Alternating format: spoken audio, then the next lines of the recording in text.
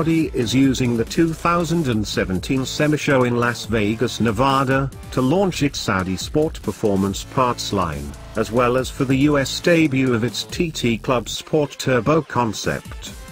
The company announced that it will start its US market sport performance parts offerings with the TTRS and R8 V10. These will become available at select dealers in 2018.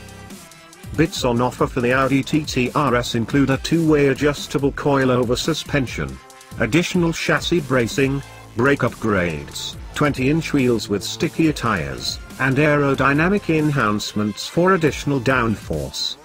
An Akrapovic titanium exhaust is also available, as well as a sport performance steering wheel with carbon shift paddles.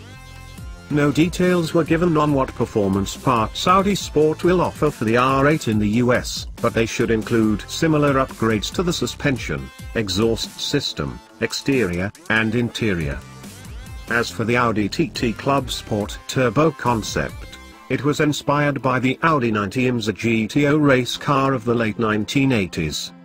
The concept packs a 2.5-litre turbocharged 5-cylinder engine that offers 600 horsepower.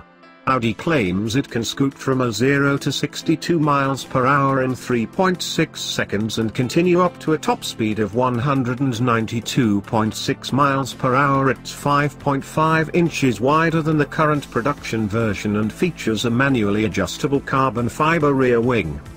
The Magnus Racing Audi R8 LMS will also join the Audi Sport display.